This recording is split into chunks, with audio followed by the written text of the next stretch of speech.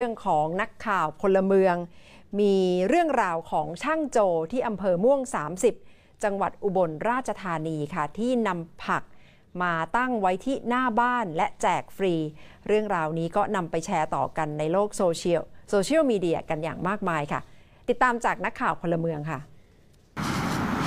บนถนนชยางกูรก่อนถึงตัวเมืองอุบลราชธานีราว 25 กิโลเมตร เราจะเห็นสินค้าประเภทผักนานาชนิด วางอยู่เต็มโต๊ะเล็ก ๆ เหมือนแผงขายของข้างทางทั่วไป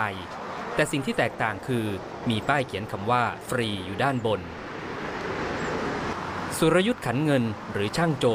คือเจ้าของแผงผักแจกฟรีแห่งนี้ เขาเล่าว่านอกจากอาชีพหลักคือรับซ่อมรถจักรยานยนต์แล้ว ยังมีสวนผักที่ปลูกไว้หลังบ้านจำนวนหลายไร่ ผมมีมะเขือแล้วก็มีมะพริกผักบุ้งครับ ผักบุ้งอยู่สวนใน แล้วก็ผักสะระแหน่ครับ จากปัญหาไวรัสโควิด -19 ระบาด ตลาดหลายแห่งต้องปิดตัวลง ส่งผลให้ราคาผักตกต่ำ ช่างโจเสียดายผักที่มีอายุพอเก็บเกี่ยวได้แล้ว จึงคิดนำผักเหล่านั้น แจกฟรีแก่ผู้ที่สัญจรไปมาหน้าร้านซ่อมรถของเขาผมมีผู้มาซื้อราคาเพิ่นก็บ่อยากมาซื้อเพราะว่าช่วงนี้ราคามันถูก ผมก็เสียดายผมก็คิดว่าเอาไปแจกหมูซะดีกว่าใครก็จะเอาถิ่มนะเพื่อนบ้านรวมทั้งแม่ค้าที่มารับซื้อผัก เห็นช่างโจทำประโยชน์เพื่อสังคม จึงนำผักของตนมาฝากแจกด้วย แล้วก็จะมีหมูที่เขาเห็นผมแจกผมหยังเขาก็เอามาฝากแจกน้ำช่วงหลังๆแม่ค้าที่เพิ่นมาซื้อผักซื้อหยังมาเลาะซื้อผักแถวนี้เพิ่นเห็นผมแจกผมก็เพิ่นก็มาฝากแจกก็มีละไมโพสีคือหนึ่งในผู้ที่ขับรถผ่านทุกวัน และรับผักจากช่างโจไปประกอบอาหารเช่นกัน จึงได้ถ่ายรูปลง social network อย่าง Facebook จนมีผู้แชร์โพสต์ของเธอออกไปมากกว่า 8,400 ครั้ง ก็เลยไปไปลงเฟซเพื่อที่จะ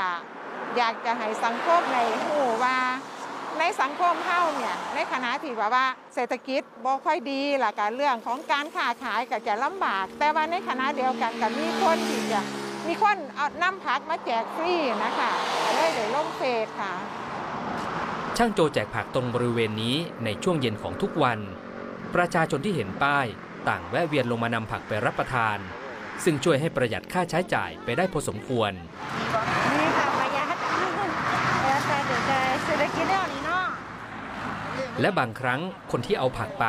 ก็หยิบยื่นของเล็กๆ น้อยๆ เป็นการแลกเปลี่ยนและให้กำลังใจแก่ช่างโจเอ๊ะพวกพานประจำก็จะ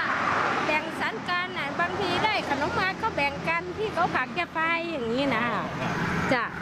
ช่างโจจะยังคงแจกผักต่อไป จนกว่าผักในสวนของเขาจะหมดลง ซึ่งถือเป็นการช่วยเหลือเพื่อนมนุษย์ ให้ผ่านพ้นช่วงเวลาที่เลวร้ายนี้ไปให้ได้ นักข่าวพลเมืองจังหวัดอุบลราชธานี รายงาน